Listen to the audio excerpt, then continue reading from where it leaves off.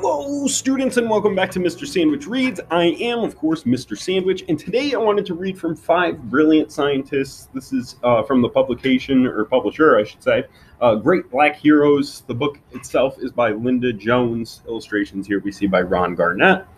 Uh, today I wanted to read Ernest Everett Just, uh, remarkable marine biologist. So you cannot see that. So let me get a little bit closer here.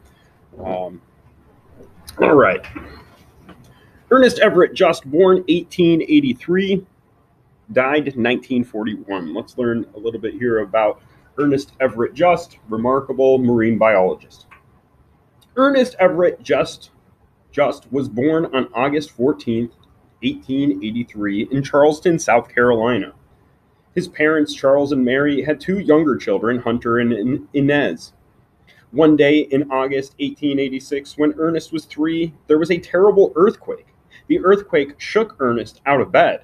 Everything crashed around him. Many people in town were killed. But the Just family survived. In a strange way, the earthquake would help to shape Ernest's life. Because the quake damaged the Just's home, they had to move. Many Just, Mary Just, excuse me, Mary Just, and a group of other black families bought some land on St. James Island in South Carolina. A town was built on the land. It was called Maryville after Ernest's mother. Maryville is where Ernest first showed an interest in science. Ernest would grow up to become a well known scientist of marine biology. Ernest took long walks through the woods in Maryville. He stared at the flowers and the animals. He was very curious about how, how all the life began. One day I'll learn more about these things, thought Ernest, and he did. He attended schools for black children. But Southern black schools were not as good as the schools for white children. Mary just wanted Ernest to have the best education, and the best schools were up north.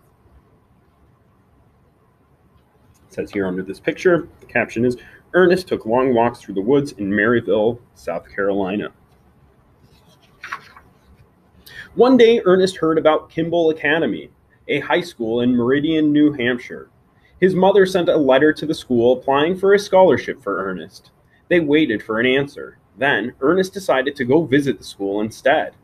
At 17 years of age, Ernest sailed off on a ship to New York. He worked on the ship to pay his fare. When I reached New York, I had a $5 bill and two pairs of shoes, Ernest later said. When Ernest finally arrived at Kimball Academy, he found out that he had won the scholarship. Young Ernest was so smart that he finished school in three years instead of four. He graduated in 1803, the top student in his class. He won a scholarship to Dartmouth College in Hanover, New Hampshire. At Dartmouth College, Ernest took every biology class offered. He was most excited to learn about marine animals, animals that live in the sea. He was an excellent student. Ernest graduated from Dartmouth with honors in 1907. After graduation, Ernest looked for a job as a research biologist but those jobs weren't being offered to black scientists. Some white some whites didn't believe blacks were good in science. So Ernest took a job or took a teaching job, excuse me, at Howard University, an all-black college in Washington D.C. Here we see Ernest Just was a top student at Dartmouth. He graduated with honors. Though he enjoyed teaching, Ernest missed learning about sea animals. Soon he had the chance to do both. In 1909, he began studying at the Marine Biology Laboratory in Woods Hole, Massachusetts. Scientists did research on sea animals there. Ernest taught at Howard in the winter and studied at Woods Hole in the summer. He was 26 years old. The young scientist did important work at Woods Hole. He studied the egg cells of sea animals. He learned how the eggs fertilized or developed into living creatures. He discovered which parts of a cell made a creature look the way it did. Other scientists were impressed with Ernest's work. His research appeared in science textbooks and magazines. And here we see at Woods Hole, Dr. Just studied many different kinds of sea life, including the sea urchin. So there you go, Octonauts. You got Ernest Everett Just to thank. Soon, Ernest had something different to celebrate.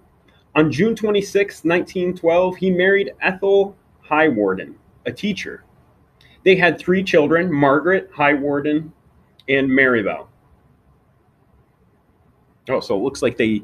This is interesting because my brother actually has my mom's last name, and it looks like they did the same thing. They named one of their children Highwarden, named after uh, his wife's maiden name. On February 12, 1915, Ernest Just was honored by the National Association for the Advancement of Colored People, NAACP. This is an organization that fights for the equal rights of minorities. For his work in biology, the NAACP awarded Ernest the Spingarn Medal, a new award for outstanding achievements by a black American. Ernest was the first to receive the Spingarn. Newspapers carried the big story. The award winning scientist kept working and studying. He attended the University of Chicago in Illinois. When he graduated on June 16, 1916, he was a doctor of zoology, the study of animal life. After a while, Dr. Just became known as the expert on the early life of sea animals. Dr. Just once challenged the work of a well known scientist, Dr. Jacques Loeb. Dr. Loeb said that he could create new sea animals by adding a chemical to unfertilized eggs in extremely salty water. But Dr. Just said he could create new sea animals by simply adding the seawater. Dr. Just added the seawater to the unfertilized egg cells, Eventually, he looked through his microscope and saw new sea animals swimming around. Even though Dr. Just had achieved a great deal, prejudice prevented him from getting important jobs in the United States. So by the late 1930s, Dr. Just lived mostly in Europe, studying and working in different laboratories. Scientists there respected his hard work, and they didn't treat him badly because he was black. Dr. Ernest Just died from cancer on October 27, 1941, in Washington, D.C. He was 58. He wrote over 60 papers and two books about his great work. Here we see the picture with the caption Ernest Everett Just was honored by the United States Postal Service. His picture is, a part of the Black Heritage series. So there you can see the, the stamp for Ernest Just. Marine biologist. Again, this was from Five Brilliant Scientists by Lynda Jones. I hope you enjoyed that. I hope you learned uh, a bit about uh, Ernest Everett Just and the great work he did. And, and unfortunately, he, and he probably could have done more given the opportunities, but because of uh, discrimination uh, at the time, uh, he was he was prevented.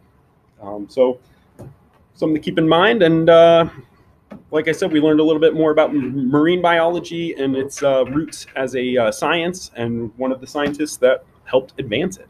So, uh, hope you enjoyed that reading. Keep reading, and uh, let me know what's your favorite uh, sea animal. What sea animal would you like to learn about? You can email me at uh, mrsandwichreads at gmail.com, and if you tell me your favorite sea animal, I'll, I'll present a. I'll do another post and talk about sea creatures. Uh, like I said, I've said before, I got a six-year-old. I watch a good amount of octonauts. I we've learned a good deal about sea creatures. Fascinating stuff. We have Ernest Everett just to thank. Thank you for listening. Take it easy. Peace.